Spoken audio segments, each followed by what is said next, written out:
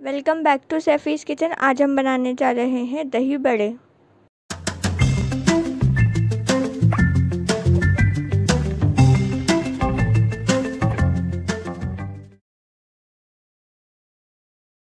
इमली की सॉल्ट बनाने के लिए एक कप इमली को दो कप गर्म पानी में एक घंटे के लिए भिगो के रख देंगे। इमली के पल्प को अच्छे से छान लिया है। एक पैन में एक चम्मच तेल को अच्छे से गर्म कर लेंगे। अब इसमें एक चम्मच ज़ीरा डालकर उसे भून लेंगे।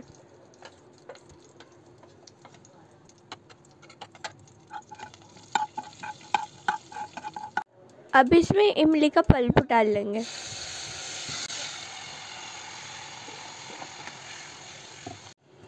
अब इसमें डेढ़ कप गुड़ डाल लेंगे।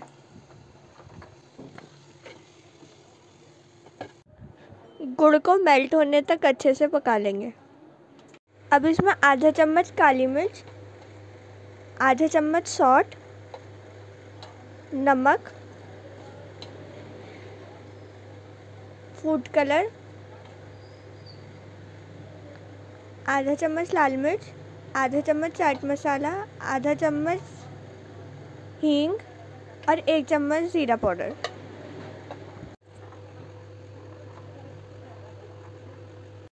अब इसे गाढ़ा होने तक पका लेंगे। अब इसमें किशमिश और खरबूजे के बीज डाल लेंगे।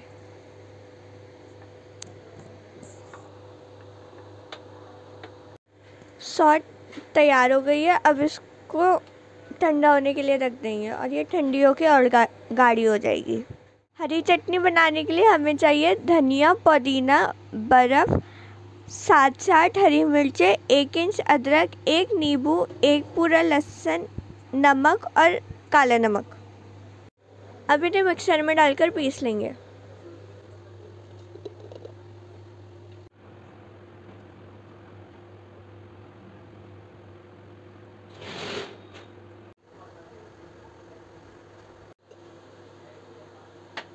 चटनी को अच्छे से पीस लिया है। दही बड़ों के बड़ों के लिए एक कप उड़द की दाल और आधा कप मूंग की दाल को दो घंटे पानी में भिगो लिया है और अब इसे पीस के इसका फ़ाइन पेस्ट बना लेंगे। अब इसमें एक इंच अदरक और दो से तीन हरी मिर्चें डाल लेंगे। अब इसमें आधा चम्मच ज़ीरा और नमक डालकर इसको अच्छे से मिक्स कर लेंगे।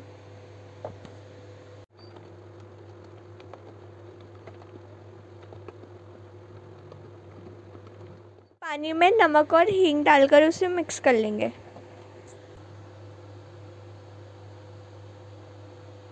तेल गरम हो गया, अब इसमें बड़ों को फ्राई कर लेंगे।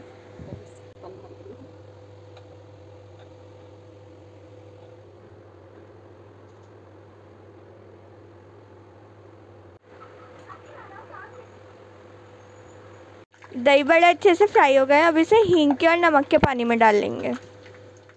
दही बड़ों के मसाले के लिए चार चम्मच हींग, पंद्रह से बीस काली मिर्चें, एक चम्मच धनिया, एक चम्मच लाल मिर्च, एक चम्मच काला नमक, एक चम्मच चाट मसाला और एक चम्मच हींग ले लेंगे। ज़ीरे को रोस्ट कर लेंगे। ज़ीरा रोस्ट हो गया। अब इसमें बाकी सारे मसाले डालकर भी उन्हें रोस्ट कर लेंगे और फिर उन्हें दरदरा पीस लेंगे। आधा किलो दही में दो चम्मच चीनी और नमक डालकर इसको अच्छे से मिक्स कर लेंगे।